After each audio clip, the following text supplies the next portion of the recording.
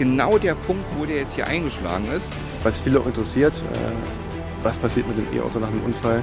Daraus ergibt sich ja für dich jetzt eine, eine, eine, weitere Problematik. Vor allen Dingen, wenn man bedenkt, was jetzt genau mit dem Wagen passiert, dass es sich um ein E-Fahrzeug handelt, wurde noch schnell die Feuerwehr verständigt. Aber was passiert jetzt mit dem Auto?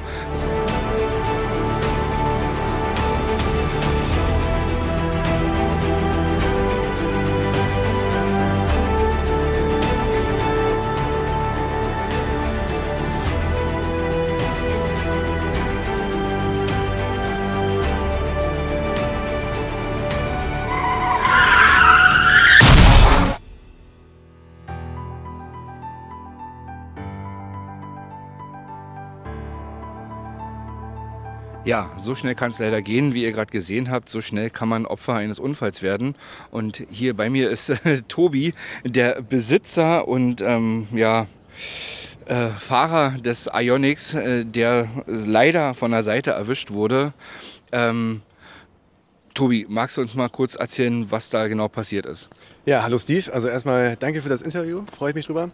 Und ähm, ja, ich war vor drei Wochen mit unser aller gutem Freund Stefan Schwung auf dem Weg zum ersten Launchabend des äh, Berlin-Brandenburg Elektrikvereins, bei dem wir aber leider nie angekommen sind. Ähm, genau, da wir auf dem Weg dahin, auf dem Weg zur Autobahn genauer gesagt, in Berlin diesen Unfall hatten. Wir sind an der grünen Ampel gerade ausgefahren, als äh, ein uns entgegenkommender äh, Linksabbieger mit relativ viel Schwung äh, in die Seite gefahren ist. Schwungvoll sozusagen. Genau, ein, ein, ein sehr schwungvoller Unfall. Und äh, ja, wir uns dann einmal gedreht haben, auf einer Fußgängerinsel gelandet sind und dann relativ schnell klar war, dass wir dort nicht mehr ankommen werden. Ja, und das ist jetzt drei Wochen her insgesamt. Muss man ja erstmal sagen, also ich meine, ich finde es ja schön, dass du deinen dein Humor nicht verloren hast. Äh, verletzt wurde niemand bei dem Eben. Unfall. Das, das, ist das Wichtigste. Genau. Ne?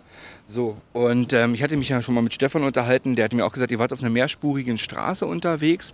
Ähm, schräg vor euch war ein LKW und anscheinend hatte der Linksabbieger sozusagen beim Abbiegen euch hinter diesem LKW zu spät gesehen, hatte dann entsprechend schon Geschwindigkeit drauf und ja, du hast dann nochmal Gas gegeben und noch versucht, dich dieser Situation zu entziehen. Genau, und äh, Stefan und ich dachten beide für einen kurzen Moment, wir schaffen das noch oder beziehungsweise wir haben es geschafft, äh, da er wirklich relativ frontal auf uns zukam. Aber ja, leider hat es nicht ganz gereicht, äh, deswegen ist er dann hinten eingeschlagen und dann ja, haben wir uns einmal gedreht, sind stehen geblieben irgendwo und dann war es vorbei. Aber äh, genau, wir haben alles gegeben, um da irgendwie noch auszuweichen. Hat aber trotz des E-Antriebs nicht gereicht. Ja, leider. Und damit sind wir auch schon beim Thema unseres heutigen Videos, warum wir das hier machen. Ähm, ich wollte euch mal diesen Ionic zeigen, denn äh, der Unfallschaden ist ja dann doch nicht alltäglich. Es ist halt, die meisten Schäden sind ja vorne oder hinten. Da sind die Fahrzeuge entsprechend auch gesichert, klar in den Seiten auch. Aber ähm, Kenner unter euch werden es wissen, der Akku beim Ionic, der befindet sich so über und so ein bisschen vor der Hinterachse. Das heißt, es ist genau der Punkt, wo der jetzt hier eingeschlagen ist. Ähm, ihr seht, der Wagen hat natürlich nicht gebrannt, aber wir wollen mal so ein bisschen durchgehen, was ist passiert, wie war der, wie war der der, der Ablauf nach dem Unfall. Ähm, wo steht der Wagen jetzt? Ähm, was ist der Restwert, äh, der Zeitwert? Und ähm, ja, wie geht es jetzt weiter?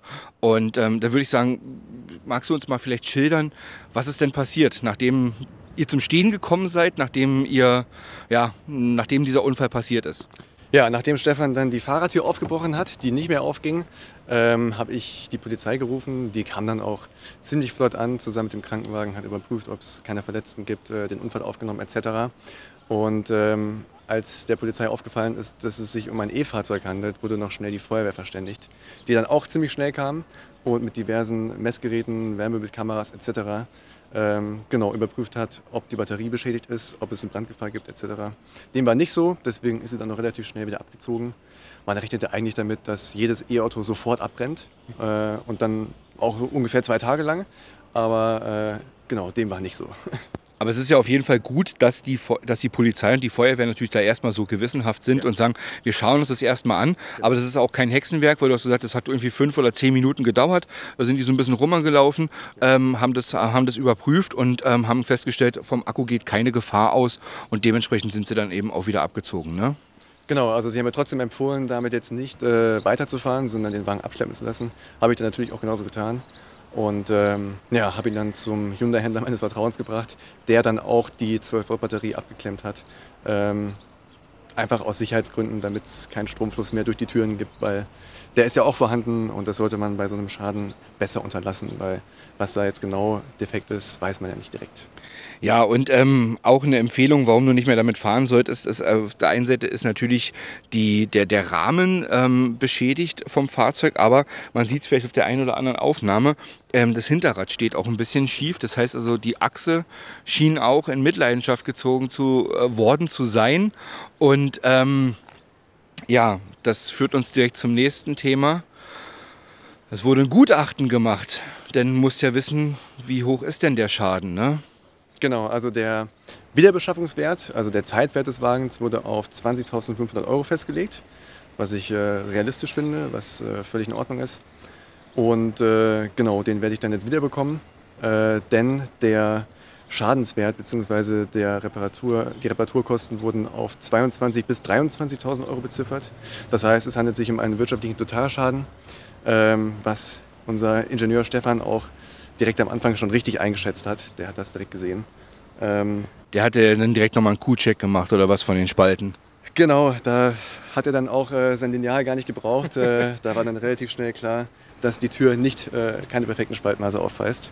Aber ja, äh, genau, es ist ein wirtschaftlicher Totalschaden. Das heißt, äh, es macht keinen Sinn, den Wagen zu reparieren. Ähm, das heißt, ich muss ihn abgeben. Also, ja. Hm. Wirtschaftlicher Totalschaden, was bedeutet das jetzt für dich? Ich meine, klar, du bekommst den Zeitwert von der Versicherung sozusagen ersetzt, aber was passiert jetzt mit dem Auto? Das verkaufst du an einen netten Schrauber um die Ecke oder wie läuft das ab? Nee, ganz unprofessionell läuft es nicht ab. Ähm, der Wagen wurde für zwei Tage an der Restwertbörse eingestellt, äh, an einer lokalen Restwertbörse. Dort können lokale Autohändler oder Werkstätten äh, ja, einen, einen Betrag für das Auto bieten. Das waren jetzt in dem Fall nur drei Institutionen. Das heißt, es gab nur drei Gebote. Da möchte ich mal ganz kurz einhaken. Ähm, das ist direkt eine Börse für ähm, Unfallfahrzeuge. Genau. genau. das ist eine Börse für Unfallfahrzeuge, richtig. Ähm, genau, und dort wurde dreimal auf diesen Wagen geboten. Das höchste Gebot ist dann das, was ich im Endeffekt annehme. Genau, für den Betrag verkaufe ich das Auto dann und einen Differenzbetrag zum Zeitwert, den bekomme ich von der Versicherung wieder. Das heißt, mir ist im Endeffekt egal, äh, was das Auto noch wert ist. Ich kriege so oder so den Zeitwert. Aber äh, der Restwert des Wagens ist interessant, meiner Meinung nach. Ja, da, ähm, das möchte ich ganz gerne von dir wissen. Was ist denn der Restwert des Wagens? Ich meine, wir dürfen nicht vergessen, ja, es ist ein wirtschaftlicher Totalschaden, aber ihr kennt das sicherlich alle. Ähm, wenn der Rahmen beschädigt ist und die Achse, das ist natürlich schnell ähm, dieser, der, der, der Wert des Fahrzeugs erreicht. Aber nichtsdestotrotz, Innenraum ist alles noch intakt. Ähm, auf der gesamten rechten Seite, Frontheck ist alles noch äh, tippitoppi. Ähm, der Wagen ist super gepflegt. Gut, der steht jetzt halt schon zwei, drei Wochen, deswegen ist er so ein bisschen, aber ansonsten ähm, Du bist ja auch beruflich bedingt, hast du ihn natürlich gehegt und gepflegt, darauf kommen wir gleich noch. Ähm, äh, ja, was, was ist denn der Wagen noch wert, so wie er jetzt hier steht? Ähm, genau 6.900 Euro. Und das ist ein Betrag, bei dem ich ein bisschen stutzig geworden bin, denn es geisterten ja die letzten Jahre ähm, alleine schon äh, Preise für den Restwert der Batterie äh, durch das Internet, was den Euring betrifft. Und alleine schon der Batteriewert wurde ähm, ja, auf ca. 8.000 Euro geschätzt bei einem, bei einem Austausch. Gut, der Akku hat jetzt 30.000 Kilometer runter, ist aber trotzdem noch wie neu ähm, und hat 31 Kilowattstunden.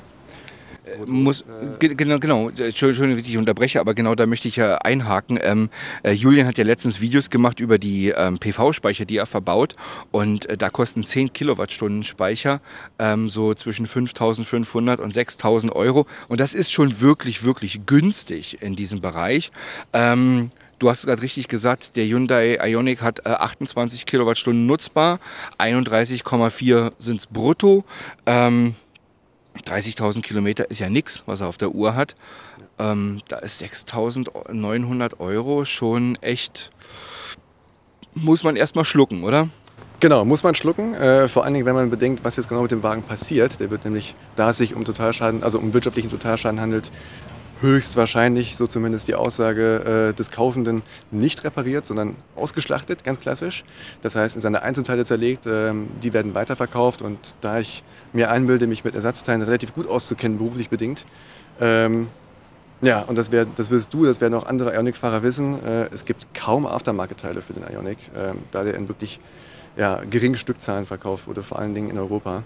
Ähm, das heißt, die meisten Ersatzteile, die hier noch verbaut sind, auch die äh, gebrauchten Sensoren etc., haben durchaus noch einen relativ hohen Wert, da es dafür keine Alternativen gibt.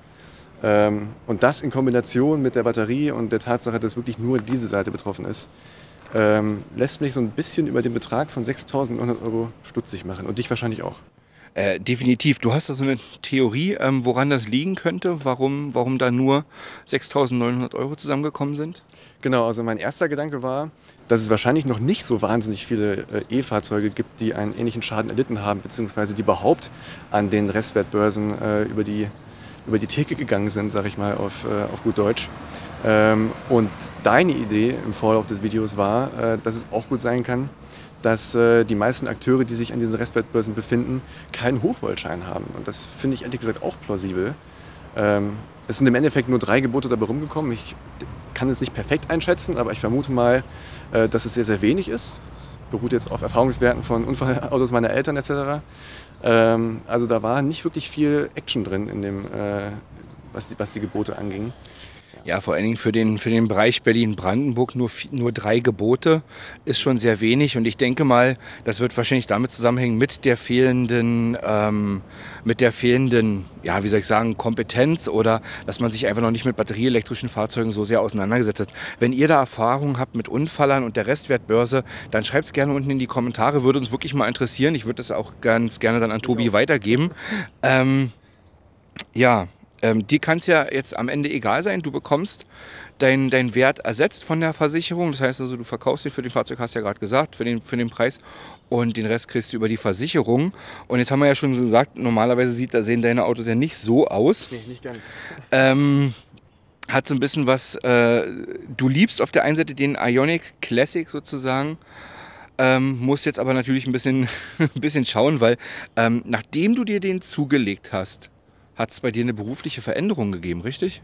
Genau, ich habe äh, damals für äh, eine internationale Unternehmensgruppe im Bereich äh, Autoteile gearbeitet und habe mir äh, als Angestellter dieses Auto zugelegt.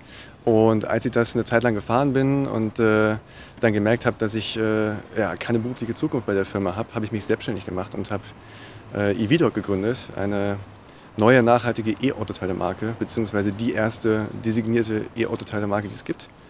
Und äh, genau, wir vertreiben leider keine Türen, sondern, äh, sondern äh, Ersatzteile, die man im alltäglichen Leben braucht, wie zum Beispiel Aktivkohlefilter, Aeroscheibenwischer, biologische Autopflege. Das ist wahrscheinlich der Punkt, warum du das jetzt äh, so eingeleitet hast.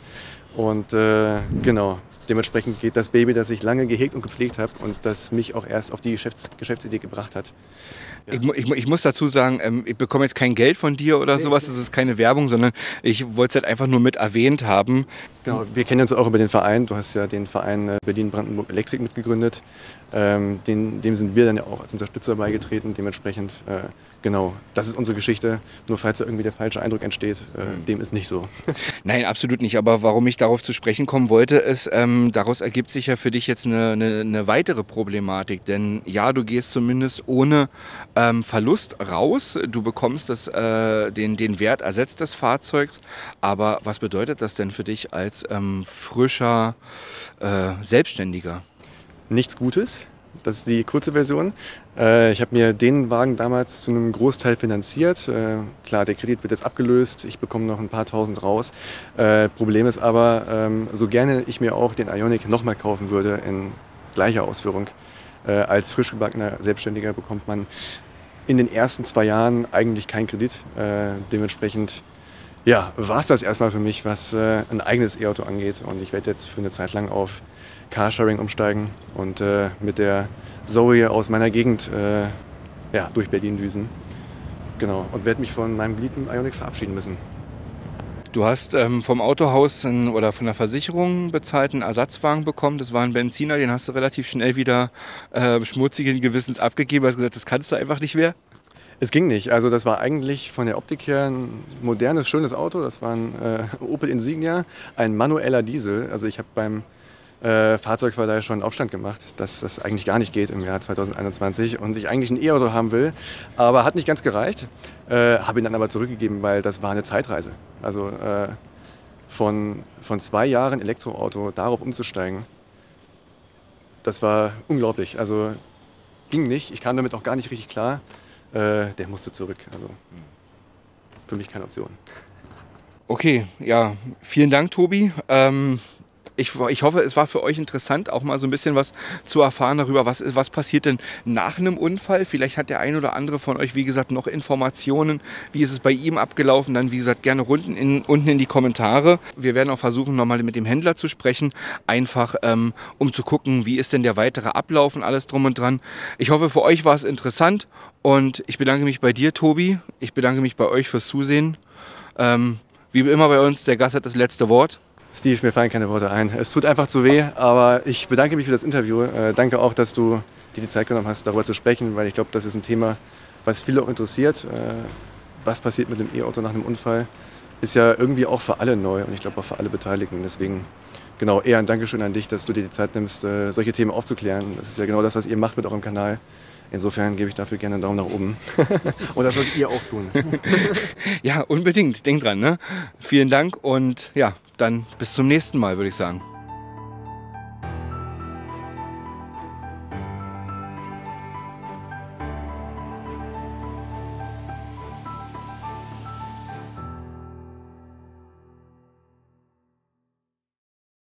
Sag mal, Steve, was hast du jetzt vor? Was machst du da? Äh, naja, Ladekabel brauchst du ja nicht mehr, oder? Nicht direkt, nee. Nicht direkt. Denn? Brauchst du es? Hast du keins?